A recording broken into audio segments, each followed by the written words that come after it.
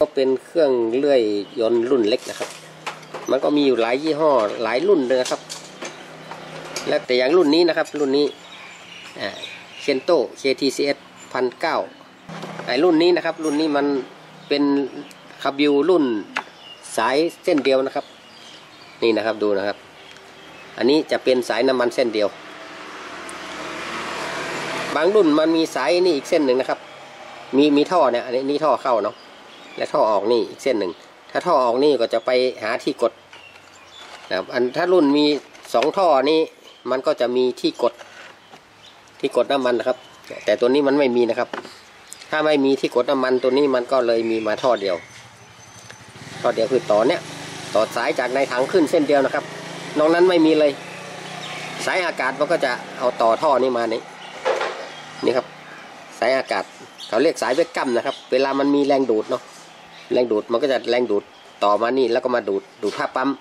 ให้ไปเปิด ให้ไปเปิดไอเข็มน้ำมันเนาะให้น้ำมันขึ้นนะ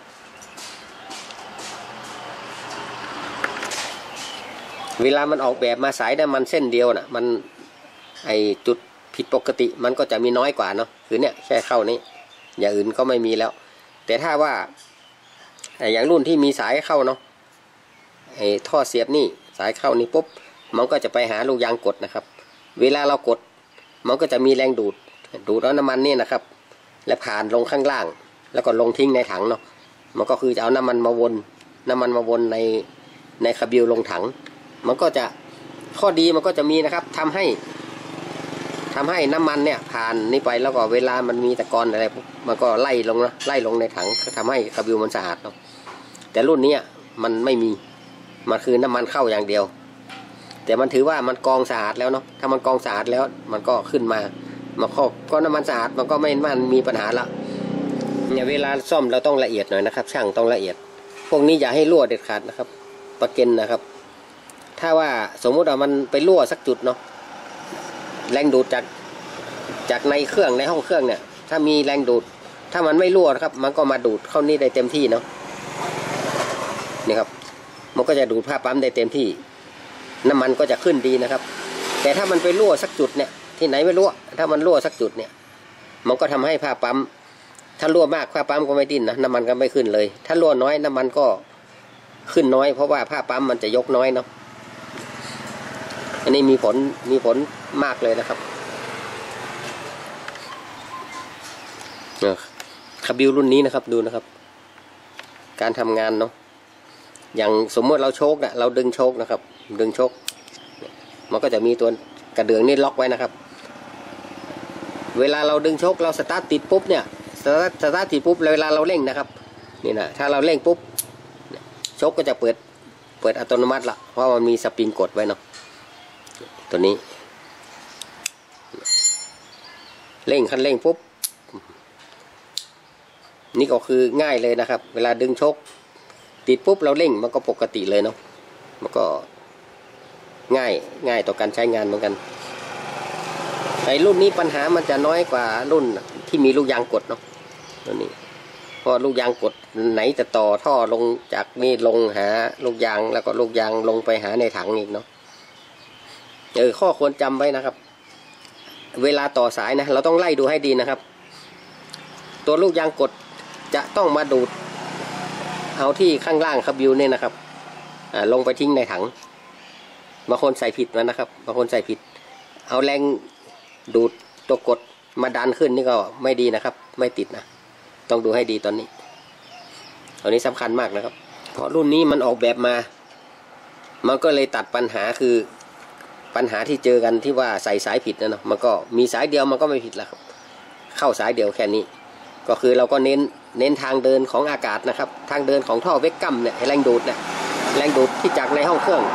ที่มันมาดูดที่มันมาดูดไอ้ผ้าปั๊มนี่นะครับ อย่าให้มันรั่ว ถ้าแรงดูดมันไม่รั่ว มันก็สามารถเปิดได้สบาย เปิดได้แน่นอนเนาะเปิดได้ให้น้ำมันขึ้นได้ดี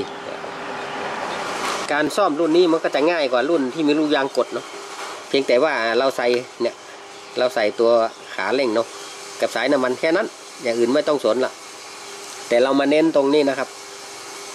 ตรงท่อไปกั้มนี่นะต้องอย่าให้มันรั่วเด็ดขาดค่นี้ก็ถือว่าไม่มีปัญหาแน่นอนครับ การประกอบนะเราก็ดูนะครับ ใส่ตัวนี้นะแค่นี้ ดูให้ตรงนะครับ ดูให้ตรงแล้วค่อยๆขยับ ไม่ต้องรีบถ้าประกอบพวกนี้ให้มันเข้าที่ดีๆค่อยๆอัดเข้าไป เพราะว่ามันไม่มีอะไรมาก เดี๋ยวก็ใส่เสียบสายนี่ก็จบแล้วนะครับ แต่ถ้าเป็นรุ่นที่ว่ามียางกดเนี่ยมันต้องระวังด้วยเนาะเวลาใส่สายข้างล่างเนี่ย เกิดสายเนี่ยหลุดก็ไม่ดีแล้วอันนี้คือง่ายๆแล้วครับ ง่ายขึ้นมาเยอะเลย ใส่ก็ง่ายกว่าเยอะ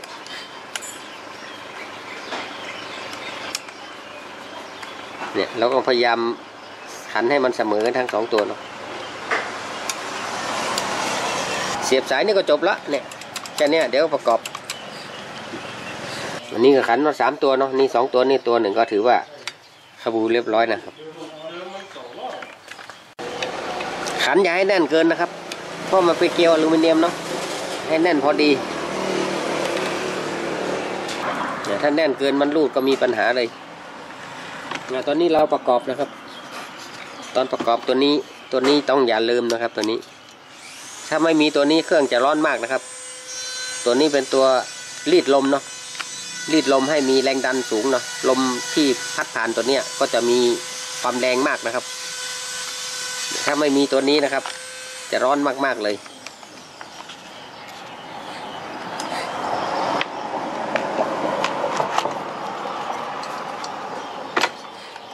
ตอนใส่นี้ดึงนี้ก่อนนะครับ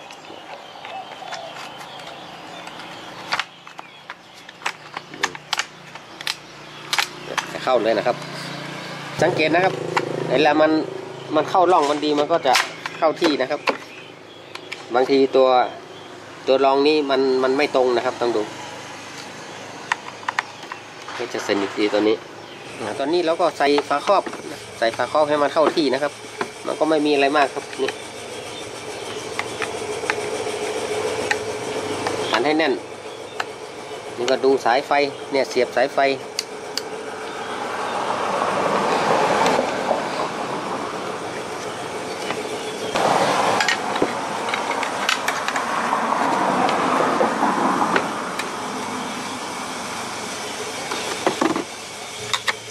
ร่องนี้ แล้วก็นี่มาเข้านี้